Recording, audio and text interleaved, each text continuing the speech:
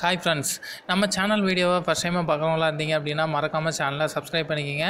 அப்படியே பக்கத்தில் உள்ள பெல் பட்டனையும் கிளிக் பண்ணிக்கோங்க.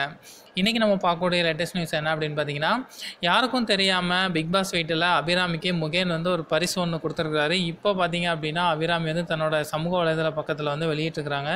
அதை பற்றி தான் நம்ம இந்த வீடியோவில் பார்க்க போகிறோம் தமிழ் சின்னத்திரையில் கமல்ஹாசன் தொகுத்து நிகழ்ச்சி தான் பிக் பாஸ் இந்த நிகழ்ச்சியோட மூன்றாவது சீசன் பார்த்தீங்க அப்படின்னா தற்போது அறுபது நாட்களை கடந்து ரொம்பவே பரபரப்பாக போயிட்டு இருக்குது இந்நிலையில் கடந்த வாரம் இந்த நிகழ்ச்சியிலேருந்து அபிராமி வந்து வெளியேற்றப்பட்டாங்க. உள்ளே இருக்கும்போது அபிராமியும் முகேன் வந்து நல்ல நண்பர்களாக இருந்தாங்க. பட் அபிராமி வந்து முகேனை வந்து காதலிச்சு தான் வந்தாங்க.